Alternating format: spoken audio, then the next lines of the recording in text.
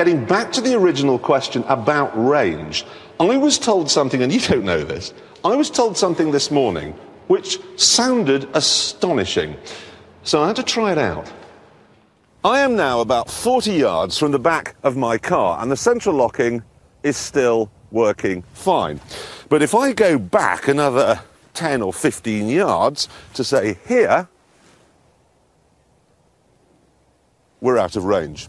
However, if I put the key against my head, like so, and try again, it's working! Doesn't work like that. Does work. What have I done to my head? It does work. It doubles the range, pretty much. It doubles the range that it works using your head. Do you have to have your mouth open? No, it's just like a big amplifier. I just scary. don't get that. If you've got the faintest idea how that works, please write to us. Let's get on to some of our viewers' letters. Now, you may remember last week we discovered that if you hold your car's remote control central locking device against your head, it doubles its range. Okay? Now, we didn't understand that. No. There was a girl in the audience last week who was a scientist, and she said it had to do with the fillings in your teeth. Yeah, but we tested that. We did. The- Our producer um, deigned to come into work one day, and nice. he has no fillings in his teeth, and it worked for him, so it isn't that.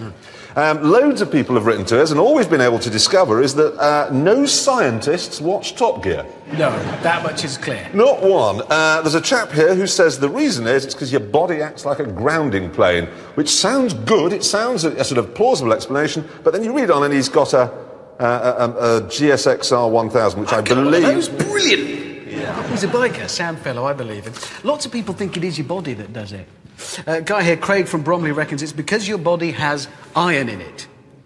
well, but it does, but tiny bit. I have no iron in my body. I am pure fat. All the way through. Yeah, I am just fat from here down. Well, fat and hair. What I say is it's nice to be consistent. I am, yeah.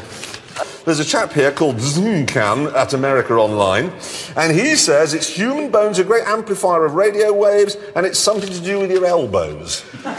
No, we had we had loads that were to do with bits of your body doing this. So we had one guy who reckons it's your ears working his radar, which I quite like. Another one, I'm not sure about this, saying it's your nasal cavities. Apparently they're as big as an acoustic guitar or something, which they're not, are they? Close, but it's I'm not. looking at you and I'm thinking it's quite a big schnozzer, but it's nowhere near an acoustic guitar. That ain't no guitar. No. You know, I'm not going to see you come. That, that bloke's got a guitar on his face. For a nose. It's No, you're rubbish. not. I know, there's some I mean, what they're basically saying, I think what the audience is saying here is that if you were to build a creature that had my bone structure with sort of enormous elbows and Martin Clunes' ears. Looking good. And Danniella Westbrook's nose. Nice touch.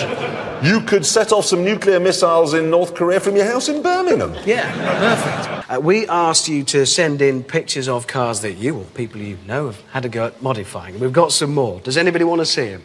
Yeah. Okay. Um, this first one is a Corrado, a VW Corrado. There it is. Have a look at that.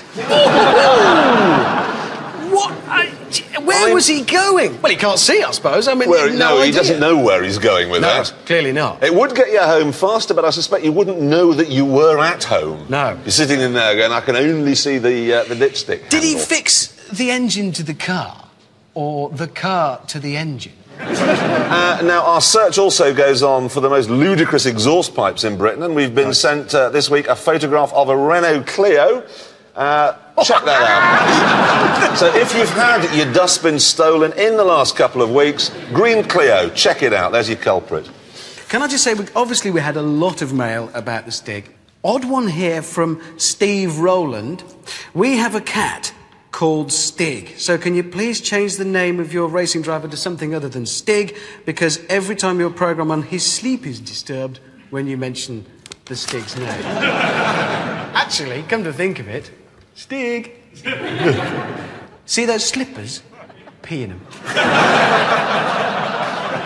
tell you one thing that's really, really got us going this week. In our kind of young men, let's call them that, it, it tends not to happen with women, um, I've taken to fitting enormous exhaust pipes on the back of their cars. Have you seen this trend? Yeah. Um, well, we were sent a fantastic photograph this week, and they're always on very inappropriate cars. But check this one out, okay? Citroen. What's that? Now, at first we suspected that perhaps he had an organ on the back seat and he went around playing ecclesiastical music of some sort. But no, I don't think so. I think it'll be the black eyed peas coming out of the doors, and those really are How, exhausts. is that nine on there? Nine exhaust pipes. And we were thinking, no one will ever be able to top that. And then somebody sent us this photograph. What is it? If you were following that, you would think, am I behind Sellafield? Yeah, I'd get out of the way. A military brass band. Who'd like to see the car it's attached to? Yes. Yep. it's a 1.6 litre Toyota MR2. Now, that was kind of heading the list. And then yesterday, from I think it's America, check this one out. Look at that! One day, somebody is going to drive up that thing and they'll get a big surprise. Another sequence of letters that we've had this week is from children who are ashamed, frankly, of the cars that they're being taken to school in. Mm. There's a chap here, George Howard, he's 14 years old. He says his father takes him to school in a 1992 white Fiat Panda. Oh, no, that's cruel. That's not right. He actually says, God has not answered my request for help, no matter how much I ask him. He says, I am so desperate I even tried sacrificing a small goat. See, it's having an effect already. This is serious. This has a, a deep sociological effect. It's a short trip from being dropped off in a rubbish car at school to, well, they'll be kicking down the door of your bedsit and finding a head in your fridge. Next. There will It's- be. You know, it's it's. So listen, kids, you know, I know there's a lot of discussion in the newspapers and on TV about the school run, what it should be done in. It's what type of car. That's what matters. George Howard of, um, where's he from? The internet. George Howard from the internet, Mr. and Mrs. Howard sell the panda. It doesn't have to be expensive or a Ferrari, just not rubbish and embarrassing. Exactly. We'll have a nation of Exactly. loonies otherwise.